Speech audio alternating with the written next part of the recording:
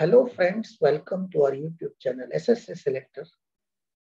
In this video, I will give you the solution to find out the length of a line joint line drawn parallel to parallel sides of a trapezium. AB is parallel to CD, ABCD is a trapezium. EF is drawn parallel to AB and CD. The length of AB is 72, length of CD is 48, and EF is drawn such that AD is AD is uh, intersected in the ratio of 5 to 3. AE and ED are in the ratio of 3 to 5 and we have to find out the length of EF. Let's see how we can do it. It is given that this is 3 and this is 5. Let's start by joining AC.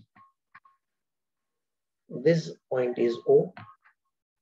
Now let's take triangle ACD in triangle ACD, OE is parallel to CD. And therefore, angle AU is equals to angle D. Angle AOE is equals to angle ACD. Triangle AOE is similar to triangle ACD. Therefore, we can say that AE upon AD is equals to OE upon CD. Friends, I'll, at the end of the video, I'll give you another direct approach in which we'll not join any diagonal. Directly we'll find out the value of EF. But for now, let's continue. AE is 3, AD is 8, 3 plus 5 8. We have to calculate OE and CD is given as 48 the length of OE is equals to 3 by 8 into 48. 8 6 are 48. OE is 18. This is the length of OE. Now let's take triangle ABC. In triangle ABC, OF is parallel to AB. OF is parallel to AB, therefore angle AO, COF and CAB are equal. Angle CFO and CB are equal. Triangle COF is similar to triangle CAB.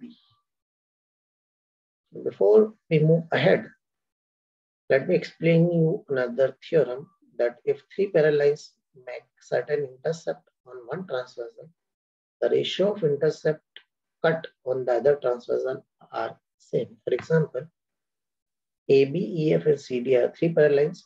They cut intercept in the ratio of 5 to 3. Here DE upon EA is 5 to 3. So CF upon FB will also be 5 by 3. Now the triangles are similar.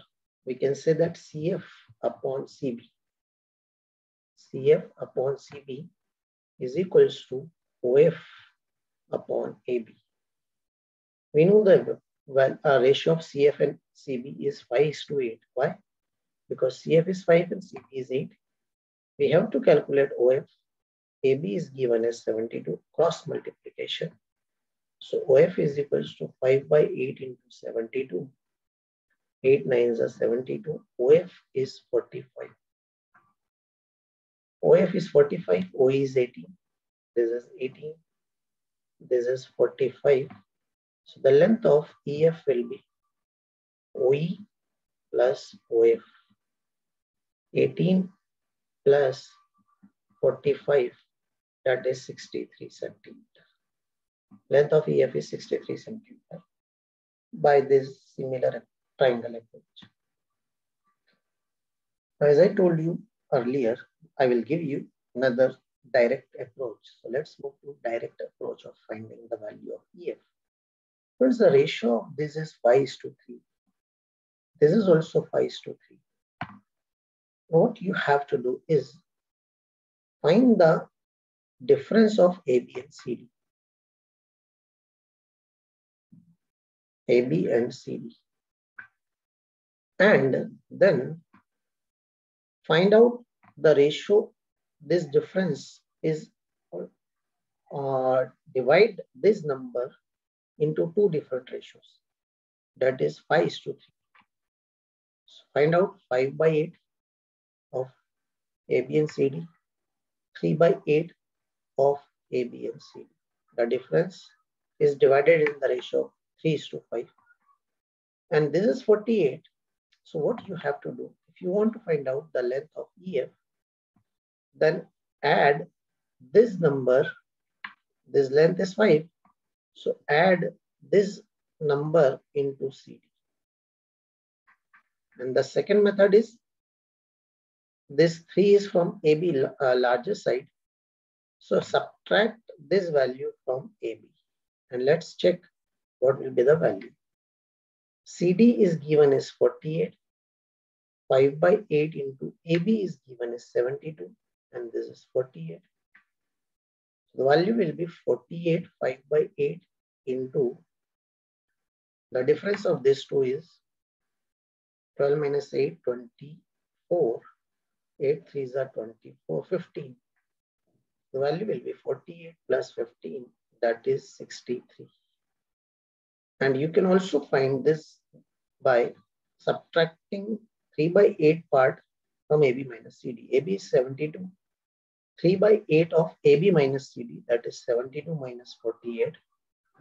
So 72 minus 3 by 8 into 1, uh, 12 minus 8 is 4, so 24. 8 3 is 24, 9 subtract 72 minus 9 and you will get 63 centimeters.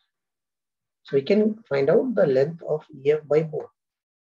Adding the difference, the ratio, uh, we have cut the number uh, in the ratio of 5 to 3. So 5 by 8 AB minus CD, difference of the two and add to the smaller. So how to, how to find out or how to decide which part has to be added, which part has to be subtracted. This is the smaller side and the ratio near the smaller side is 5 and ratio near the uh, larger side is 3. So 5 by 8 will be added and 3 by 8 will be subtracted. Both will give the same. This is the direct approach. So I hope friends you like this video. Like our videos and subscribe to our channel.